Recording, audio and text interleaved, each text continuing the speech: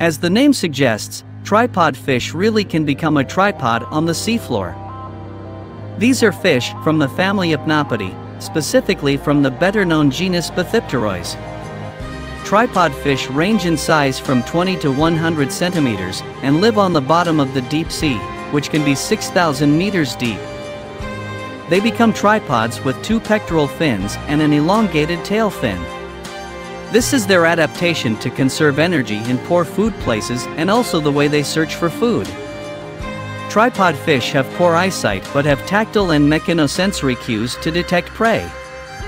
They are perched facing upstream and are at the right height to filter plankton or small crustaceans without having to move. Each individual has male and female reproductive organs. If they cannot find a partner to mate with, the tripod fish will make its own sperm and egg cells to produce its offspring.